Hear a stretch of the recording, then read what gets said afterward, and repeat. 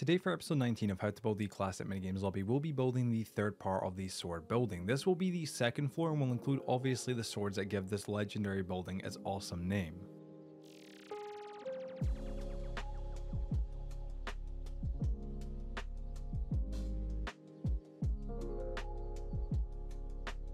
So to get started on the second floor, we're going to start with the easy stuff like building the walls. So to begin, we're going to come to the back left of the building and place a stone brick one block behind the oak logs that we placed previously like this. It's kind of hard to really fully explain, but hopefully you can see what I'm doing here. Then we're going to extend that single stone brick up eight more blocks, of course, for a total of nine. Now, once we've done that, we're just going to simply repeat this exact same thing all the way across to the other side of the wall itself or the other side of the building.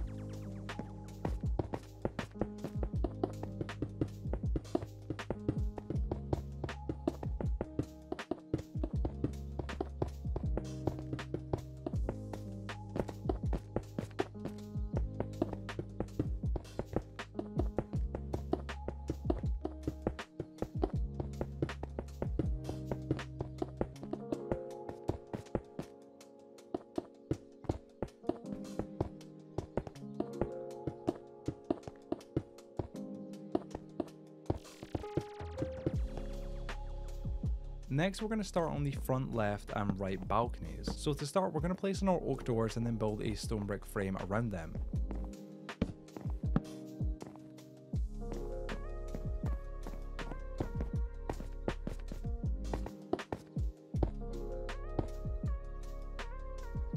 Then from here, we're just going to do the exact same again, but this time where the doors would be is where we're actually going to be placing in our glass panes.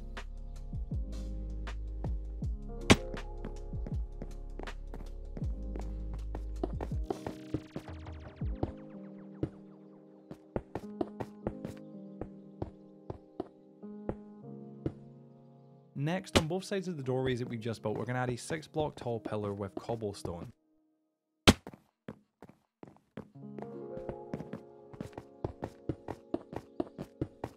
Then once we've done that, we're going to take out our stone bricks and place them above the cobblestone walls.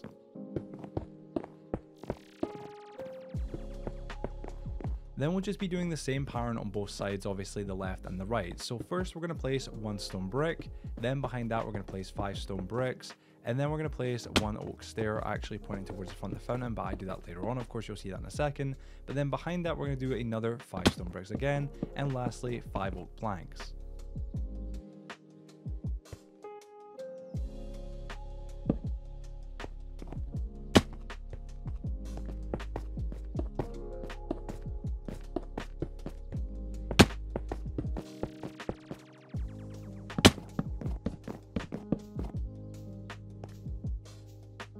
Now to finish the balcony area off entirely, we'll just add two oak logs above our corner logs and then four cobblestone walls. Be aware it will be a little bit tricky to do this, as you'll see I kind of struggle a little bit, but you'll get it.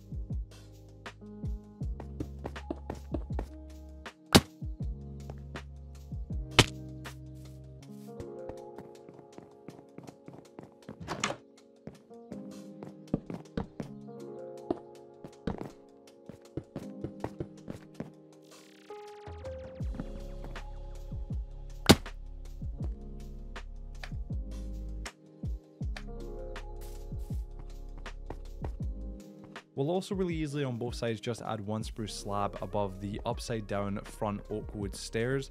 It's, it's really hard to explain this. Hopefully you can just watch what I'm doing here because explaining this verbally is like the most insane thing ever.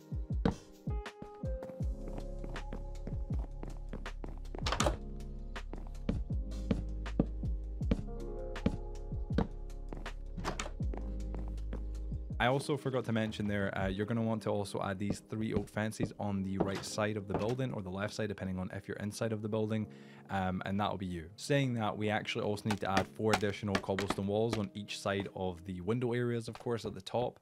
Um, which is a little bit annoying to do, but you'll be able to do it, I'm sure, as well. And I, I promise once you've done that, that is everything done.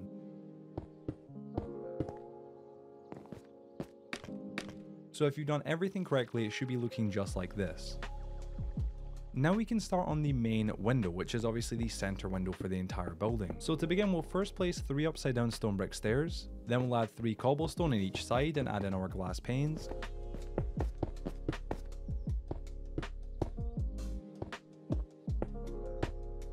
Then we'll add in three rows of stone bricks going from one side to the other.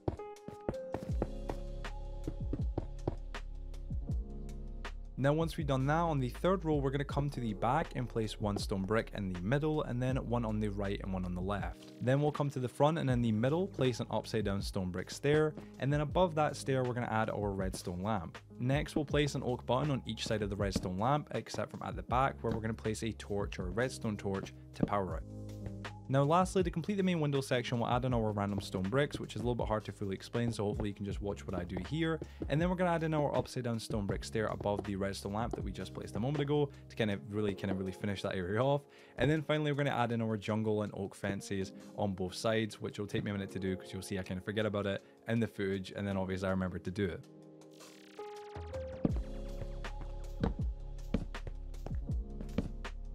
So now that we've done that, we're going to move on to what I like to think is the most difficult part of the tutorial, and that is the rafters. So to start this, we're going to first need to be above the main window area, which was where we just were, so hopefully you should be there.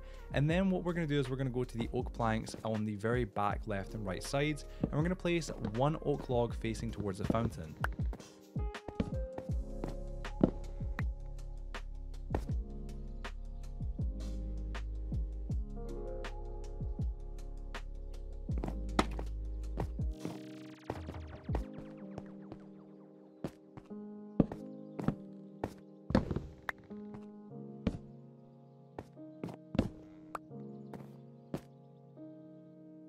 Then once we've done that, we're going to add another 6 oak logs going towards the fountain for a total of 7 including the original one that we placed.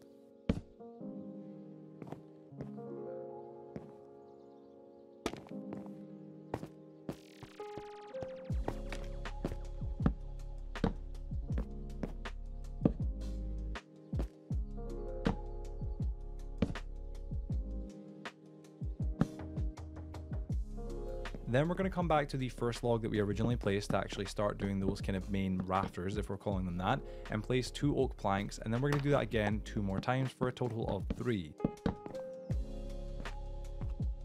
Next, we'll on both sides extend those planks across by four blocks, and you'll see what I mean by that in just a minute. But first, we're going to add four upside down oak stairs, and um, pretty much right behind, or not pretty much, exactly right behind the actual uh, cobblestone walls that we originally placed um, just a moment ago, of course, and that'll be us.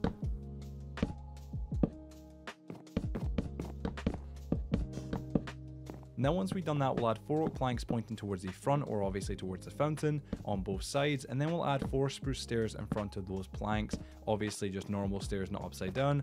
And I know this is really kind of, I guess, annoying to listen to or kind of follow, but it's just this is the best way I can audibly kind of describe this to you. But from here, the next part is painful to describe audibly, like to the point where I can't really describe it. So I'm just going to let you follow along with what I do. Now remember, as always, you can either pause or turn down the playback speed if I'm going a little bit too fast while either speaking or even actually just in gameplay, so be sure to do that if you need to.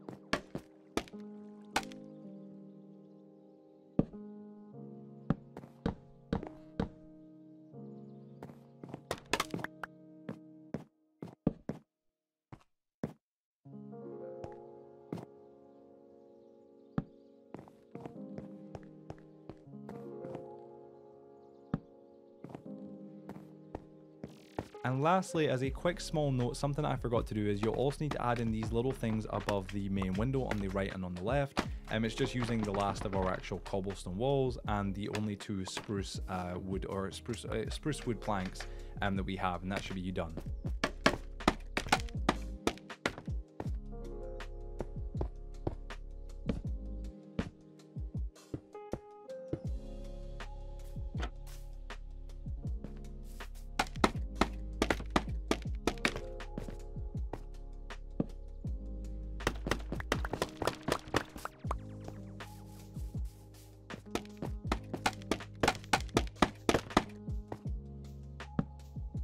If you've done everything correctly, it should look just like this. So for our final touches, we're just going to really easily add in our torches, then our item frames with the swords inside of them, our carpet, our railings for the actual stairs, and our plant pots with poppies inside of them, and that'll be us done. Um, I'm sure you can just watch exactly where I place everything here. It's incredibly easy to do, and that'll be it.